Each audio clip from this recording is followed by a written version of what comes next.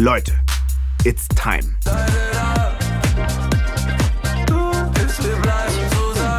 Zeit für ein Video über ihn hier.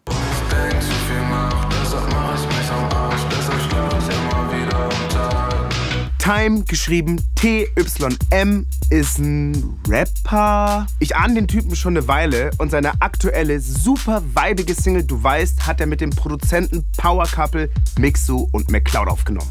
Babe, du weißt, ich hab 100 Dollar bis gespart 5, Wer Time ist, wie er so tickt und warum er die Schnittstelle zwischen Deutschrap und Hyperpop ist, das seht ihr jetzt.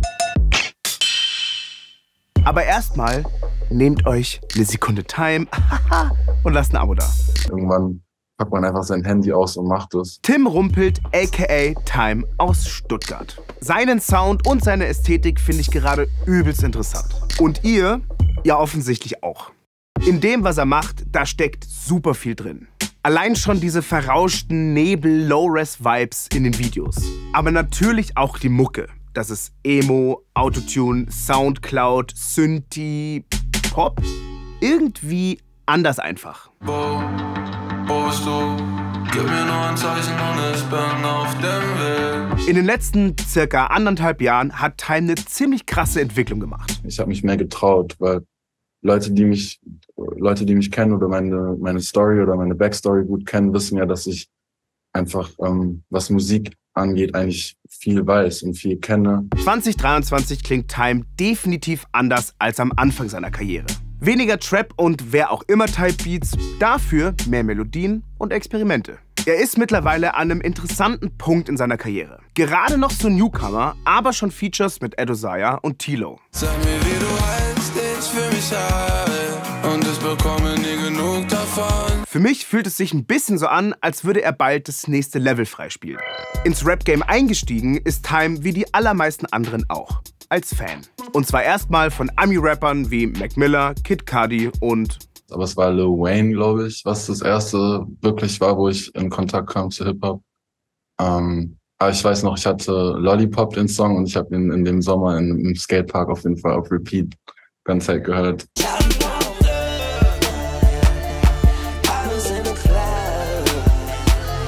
Fun Fact: Time wächst zweisprachig auf. Seine Eltern kommen aus Südafrika und sprechen mit ihm Englisch. Deutsch lernt er erst im Kindergarten. Er singt mehrere Jahre im Knabenchor und spielt Schlagzeug. Mit ein paar Homies fängt er dann auch irgendwann mal an zu freestylen. Bald macht er die nächsten Steps. Erst über rando YouTube-Beats rappen und dann auch eigene Sachen bei Soundcloud hochladen. Über Soundcloud connected Time auch mit einem damals noch unbekannten Produzenten namens Palace. Wenn ich so bin. Ich call dich, wenn ich so bin. Mittlerweile haben die beiden keinen Kontakt mehr. Aber 2017 und 2018 droppen ein paar gemeinsame Songs und langsam tut sich was bei Time. Damals auf Soundcloud hatte ich so durch ein paar Songs und so lokal einfach so ein paar Hypes, weil ich auch in der Zeit so viele Clubshows gespielt habe. Das war, als ich noch viel jünger war. Das war noch eigentlich meine ersten, so meine ersten Shows als Time. Ähm, und da ging es eigentlich so lokal halt damals in Stuttgart immer voll ab oder die Leute wussten halt, wer das war oder man hat viel Streams dann über Nacht bekommen. Soundcloud hat ja seit einer Weile schon ein kleines Revival. Seid ihr da viel unterwegs? Schreibt es mir in die Kommentare. Von Anfang an hat Time einen krassen Output. Extrem viele Releases in relativ kurzer Zeit. Früher war es halt eher so, dass ich viel einfach gemacht habe, gemacht habe, gemacht habe, teilweise vier, fünf Songs am Tag.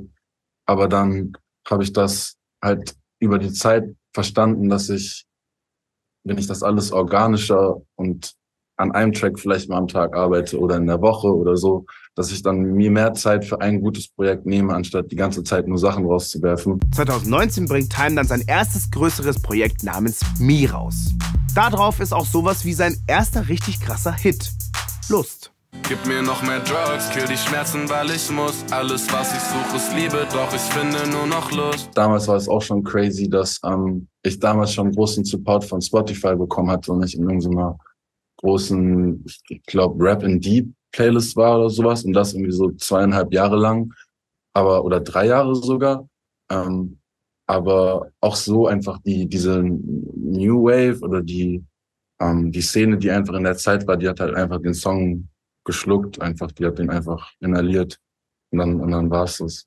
Das war auch ähm, lange Zeit einfach so dieses, dieser Song, über den viele Leute mich auch einfach kannten. 2021 kommt das Tape Devil Never Even Lived. Zur Single Stressed Out gibt's auch ein allererstes Musikvideo.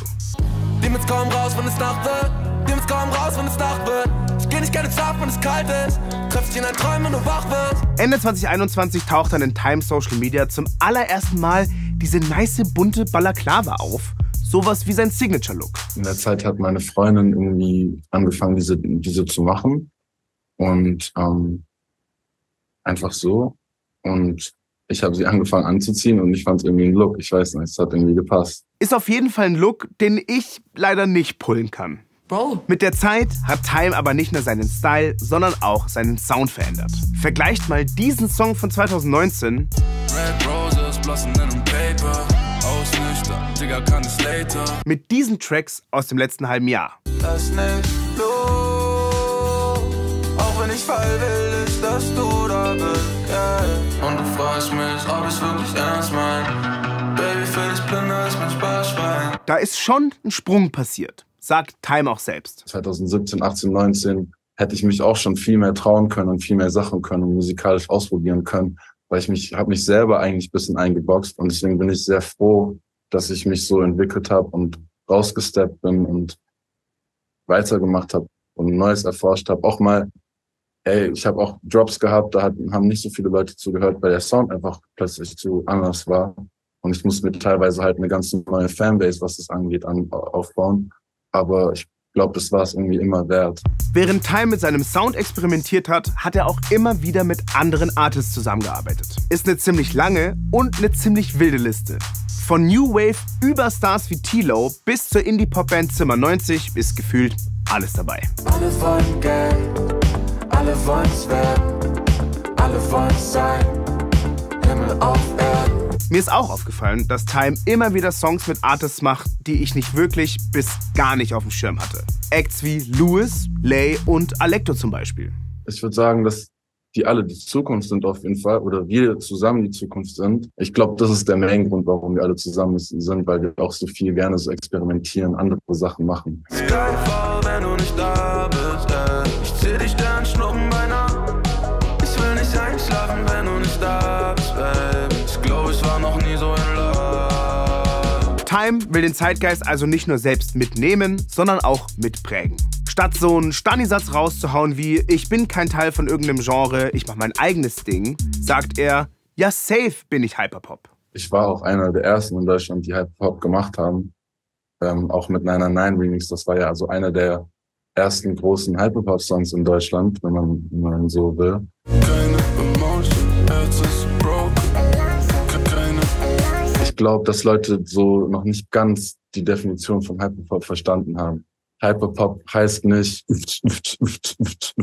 sondern Hyperpop heißt, Hyper ist einfach das Wort für übertrieben. Das heißt, es ist übertrieben hart oder übertrieben schön, übertrieben weich, übertrieben ähm, laut, übertrieben leise. Es kann alles sein. Mit übertriebenen oder extremen Arten von Pop kennt sich Time gut aus. Er war früher krasser Tokyo Hotel Ultra, war auf dem ersten Deutschlandkonzert von Mac Miller und eines seiner Lieblingsalben of all time ist Pop 2 von Charlie XCX.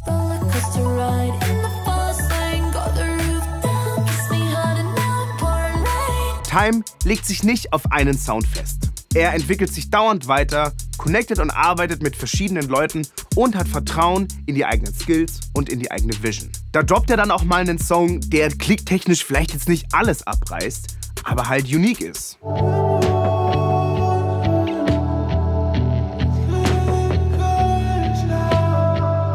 Checken natürlich nicht alle. Mir ist egal, was du denkst. Seine aktuelle Single Du weißt ist für mich, was Catchiness, Arrangement und Vibe angeht, nochmal einen Schritt nach vorne. Baby, weiß an, was ich denk. Remember, this life ist ein Geschenk. Wir werden drunk zusammen, haben Fun zusammen. Wir tanzen dann bis zum Morgen. Dann hat es jetzt am Ende doch voll Sinn gemacht, dass er im Februar rausgekommen ist. Weil ich glaube, das hat ein bisschen dieses Sommerfeeling und diese Sommernächte so ein bisschen zurückgeholt in diese Kälte. Ein bisschen wie so ein, wie so ein, so ein kleines Antidepressiva. Time hat uns erzählt, dass in der Session mit Mix und McCloud zwei Songs entstanden sind. Kommt da also vielleicht demnächst noch ein Track von den drei zusammen?